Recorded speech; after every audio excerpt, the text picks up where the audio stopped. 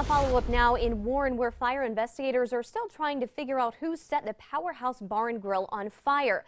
But tonight we've learned there could have been a break-in before it was lit up. 27 First News reporter Nadine Grimley joins us live in the studio with the developments. Well, Mandy, it's here in this police report filed with Warren PD yesterday morning after the fire had already been put out that investigators with the state fire marshal's office discovered some of the machines inside had been tampered with, likely before the fire even started. The report says that from what they gathered, an unknown person or persons entered the powerhouse through the rear kitchen door at about 315 about an hour before the fire started. Two sweepstakes machines were tampered with on the inside and the cash collectors were missing. The fire has been ruled an arson. Warren Fire Chief Ken Nussle told me yesterday that investigators found multiple locations inside where the fire originated.